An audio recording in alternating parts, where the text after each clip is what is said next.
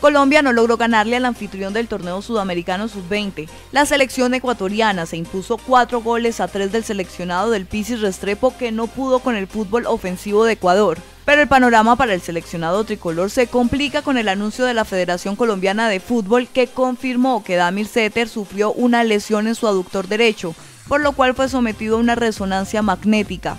Setter, que ya había anotado dos goles para la selección y se había destacado como uno de los más potentes delanteros, no podrá continuar en el torneo juvenil. Con la fecha anterior, Colombia suma un empate con su primer partido ante Paraguay y una derrota ante Ecuador que ya había perdido 0 por 1 ante Brasil. El próximo compromiso del seleccionado colombiano será mañana a las 7 y 15 de la noche ante Brasil, primero del Grupo A.